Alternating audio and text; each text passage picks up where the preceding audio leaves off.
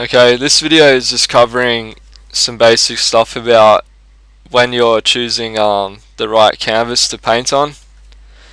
Now, this doesn't matter so much since you can always change the size of stuff as you can see here within image, image size, or image canvas size. The difference being image size is going to change your whole image canvas size is going to change the size of the canvas without changing the the size of the actual content within that page whereas image size is going to change the content along with the canvas. So um, in in making a new file my considerations are is this image only going to be for viewing on the internet or on a computer?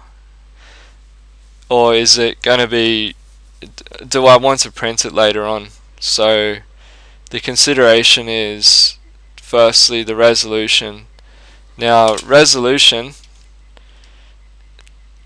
the default resolution and standard resolution for viewing on a computer monitor and other devices is 72 dpi so if you're just painting on screen, just may as well go 72 dpi. It's going to be a lot faster with your painting and you can always change it later on to 300. 300 is the standard size for printing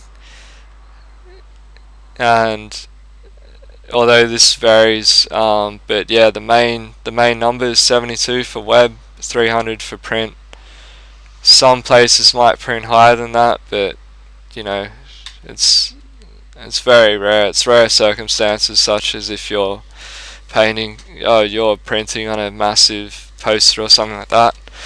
So some recommended settings um, is for painting. I would say probably you can change on the side here to pixels.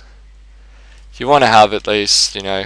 Um, you want to have at least 1200 on the width and probably 1000 on the height um, 72 that's pretty low res but you're going to paint really fast and um, you can't always change it.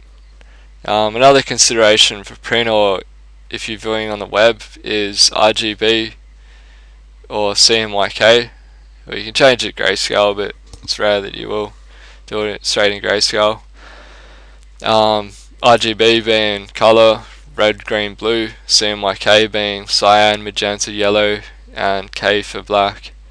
So the printing process uses a CMYK process, a 4, four ink process. RGB is how pixels and color is um, displayed on a screen. So if you're doing something for print, and you don't want the color to change at all and you might want to make sure that you know what you see on screen is what you get with the print. I recommend you paint in CMYK um, the problem you'll have with with printing and oh, sorry painting in CMYK is you're going to lose some of the um, filters and and adjustment layers and things like that that aren't compatible in Photoshop with CMYK. Um, but me personally, whether I'm doing it for print or for you know um, for web viewing or posting on forums, I tend to just paint in RGB, and then if I do want to print it, I'll switch it to CMYK. If the color looks off, just probably adjust it a bit with the with the um, adjustment layers and other cool um, powerful tools in Photoshop. So yeah I recommend if you got a pretty slow computer you just want to sketch around. These are pretty good settings you know a 1200 height 1000 sorry 12 1200 width 1000 height 72 DPI and you know you'll be able to be able to do some cool painting. Da da da. Draw a little frog.